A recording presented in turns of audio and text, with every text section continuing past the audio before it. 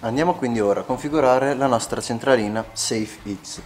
Come prima cosa andiamo quindi a vedere nello slot posteriore di inserire la nostra SIM.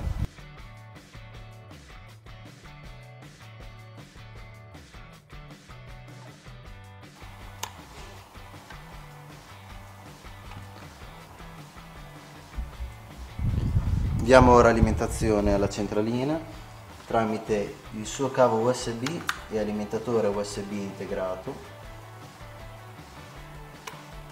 Benvenuto in Monte E avremo quindi l'avviamento della centralina. Andiamo quindi ora a scaricare l'applicazione tramite QR code dedicato all'interno del nostro manuale. Perciò apriamo il manualino fino alla pagina 10 dove troveremo il QR code dell'applicazione, poi tramite un QR code reader sul nostro dispositivo cellulare andiamo a leggere il QR. Questo ci reindirizzerà automaticamente all'applicazione da scaricare e quindi potremo andare a premere ottieni per il download dell'applicazione.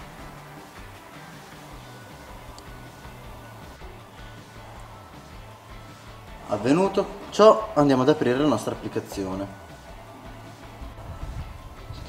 Andiamo a dare il sì. E perciò dovremo seguire le indicazioni che l'applicazione ci darà per la prima configurazione. Come prima cosa dovremo quindi impostare la nazione e il numero di telefono della centralina.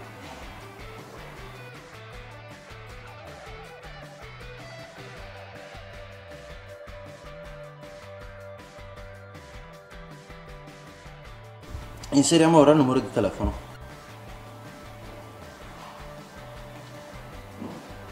Premiamo fase 2 e andiamo avanti.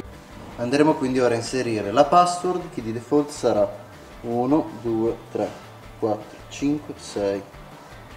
Andiamo alla fase 3 e diamo un nome alla nostra centralina. In questo caso la chiameremo casa.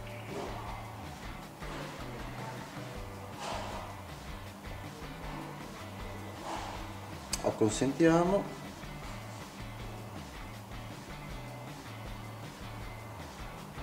ora avendo configurato la nostra centralina la nostra applicazione avendo inserito la SIM all'interno della centralina ci basterà quindi alimentare la centralina controllare l'aggancio del GSM e potremo già cominciare a configurare i primi sensori. In quanto la caratteristica di questa centrale è che tutti i sensori sono configurabili tramite applicazione, senza dover programmarli tramite centralina.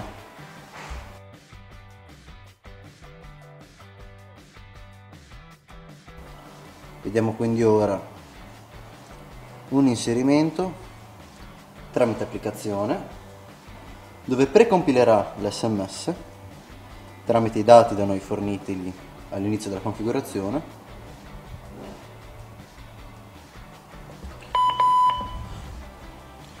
Potremo quindi notare che la centralina si è armata, andiamo a vedere quindi il disinserimento nella stessa maniera, invio dell'SMS precompilato.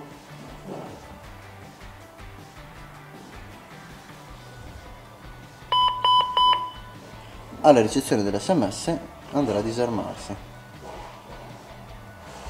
La centralina ci risponderà con un sms di avvenuto disinserimento con successo e anche dell'avvenuto inserimento con successo.